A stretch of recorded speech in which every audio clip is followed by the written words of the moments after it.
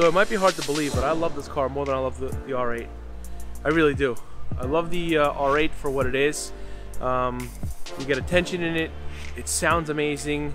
You're shifting gears and it's incredible. But this thing right here, this is what I'm used to. This is what I love. This is, you know, I had a hatchback as my first car and I love the practicality of it. I love the practicality of it. I love, you know, I just love that it, it, it doesn't look like much. It's not that flashy.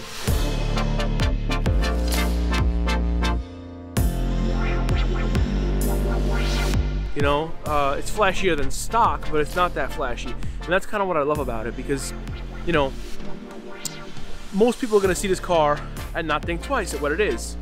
But as it sits right now, it's making 570 horsepower to the wheels, which is probably close to 700 horsepower at the crank.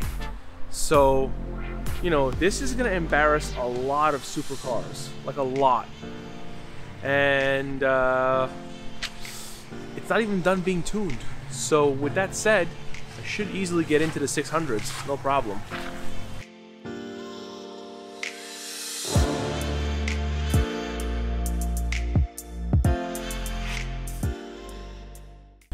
What's up guys? Welcome back to another video. My name is Franco and this is Auto Society.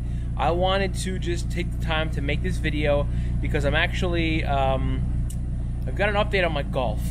All right, and this car has been a long time coming. It's quite honestly the biggest pain in the the thing that I have to say about this car and about the person who built it, Arnold from PAG Parts, is yes, it took a long time, but also not one thing was done improperly. Arnold went above and beyond. Literally, right now, he's actually making some part to make my brushless fuel pump work even better. Again, he could have let this car just leave the shop and could have been dealt with later, but he figures he wants it to be absolutely perfect. Mirza, my tuner from Boosted Euro, which I love, but we had a lot of communication issues. Um, supposedly he's coming today.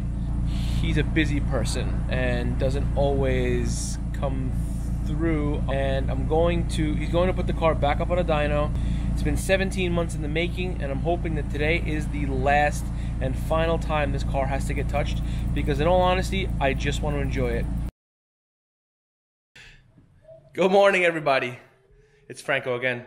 Uh, this is the next day after I was supposed to have my Golf R tuned. This is the day where supposedly Mirza is supposed to be waking up at 6 a.m. It's now 8:12 and he was supposed to text Arnold, and Arnold was supposed to text me and let me know that he secured a spot with um, a local dyno.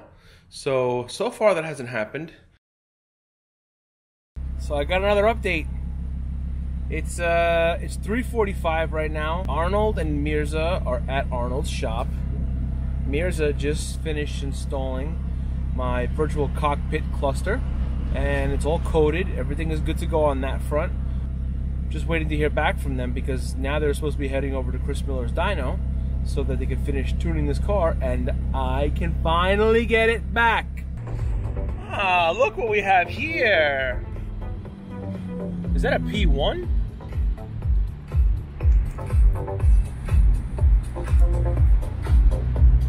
Or a 5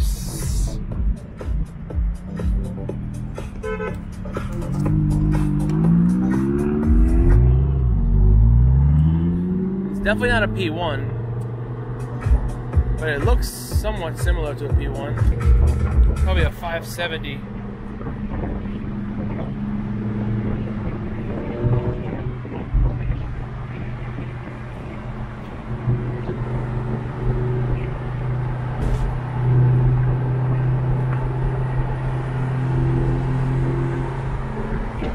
I don't know about but it's a good looking car. So of course, like an idiot, I didn't have my camera rolling when I was talking to the driver, the owner of that car.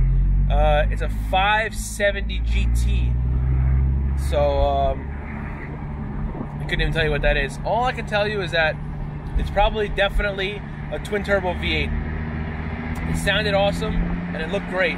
I said to the guy, it looked like a P1 from the back, He goes, yeah, it's like a mini P1 because the tail lights. I'm like, that's exactly what I thought.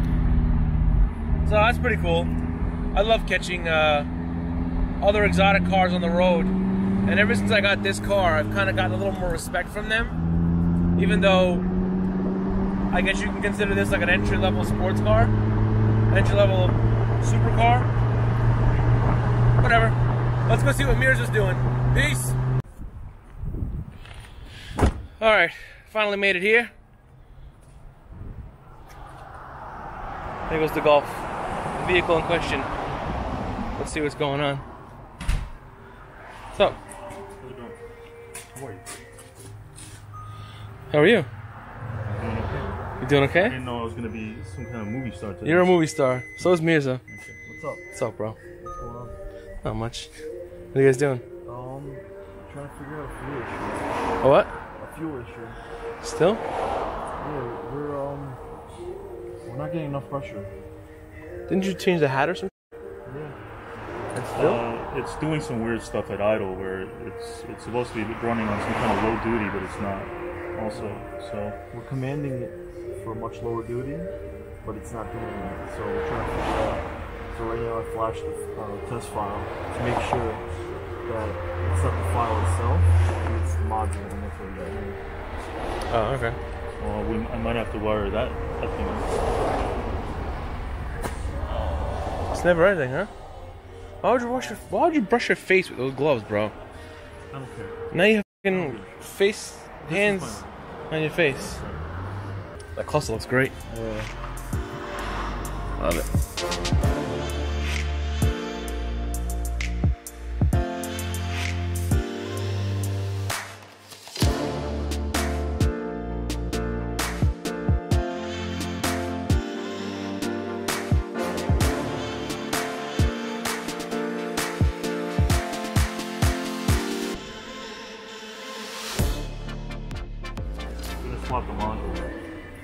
Module. Wait, what module we're talking about? Just so I can Fuel understand. pump control module. It's a little computer. That's it? Little standalone for the for the fuel pump. So um, This is for the brushless one. How do I give an extra one of these? you know, that's, how I roll, man. Either that or you're learning. Learning- How about this car? The backup plan. Yeah. How many How many times have you had to rebuild this car? All right, I'm not recording. How many times now? this motor's been built like eight times. This is, uh, this is how it, this is how it was from day one because you know It's a 1.6 liter, 140 horsepower. it, yeah, just, uh, it was built once. Uh, come on, get to, get to building so you can get on this dyno today. Come on, come on. Let's get this. You leaving?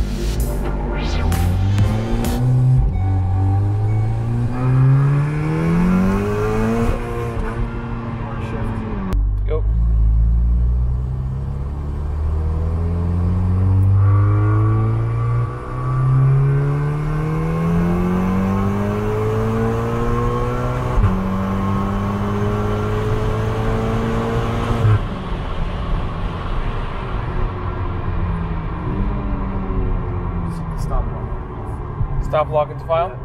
Yeah, underneath there.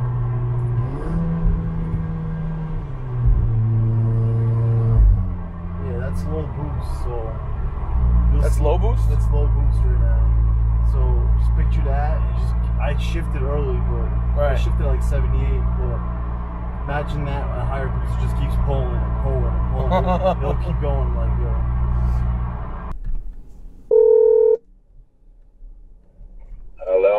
Yo.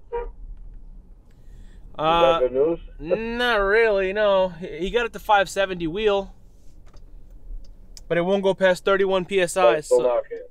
so it's still knocking, yeah, and uh, it's still knocking. He can't get it past 31 psi, so he's he did a leak down test. All the cylinders look good, but he's thinking that there might be a boost leak because he did a a smoke test and he saw some smoke from um, from the diverter valve.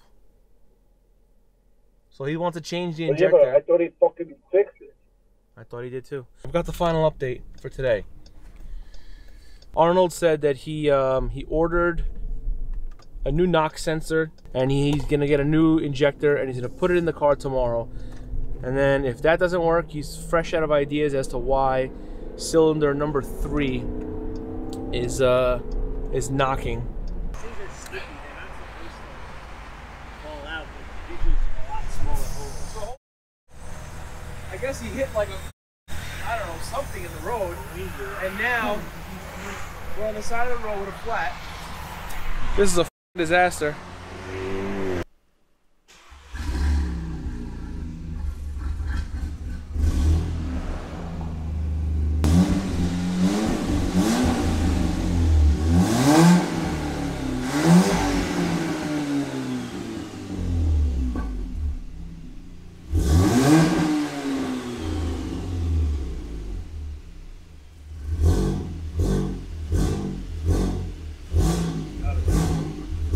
What? I don't know what I'm looking at. Hmm? It's good?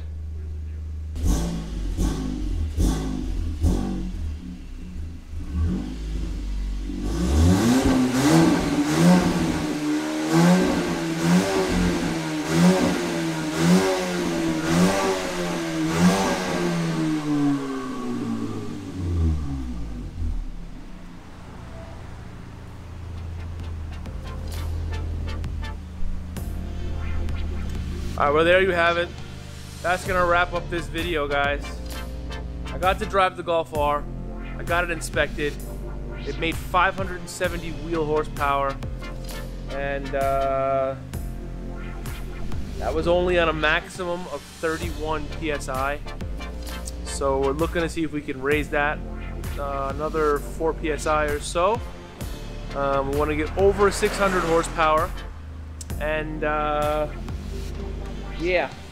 So knocking in cylinder three, we're gonna change an injector and see if that fixes the issue, and then get Mirza back here to retune and uh, finalize this bad boy. But every time we get this thing on the dyno, we uh, get closer and closer. You know, is what it is. But anyway, listen. Thank you guys so much for watching. Please like and subscribe. All right, share this video, and uh, yeah, that's it.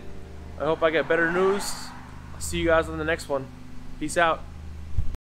I forget to get the camera. We're every sitting here watching it. I'm like, what? I have a camera in the car. Why aren't you vlogging this right now? Are you kidding me? Like, this is like, it's like you towing your car right here. And it's stuck on the side of the road now. Patching a tire in an RS6 Avant on the side of the road. With like four plugs that don't fit because the hole is the size of a fucking. I'm doing wow, that's even worse. You had no light on this whole time. Yo, so you know this guy named Mirza? I'm not going through this. Great. Love my life. He's loving my life. but when he calls you, right? When he answers the call. He answers the phone, he's loving my life. He makes you feel real special every time he answers you. Wait, Mirza answers your phone call? crazy, right? He's good, yeah. Crazy. I feel like every time he answers the call, I feel like I won the lottery, bro. It's the craziest thing. I know.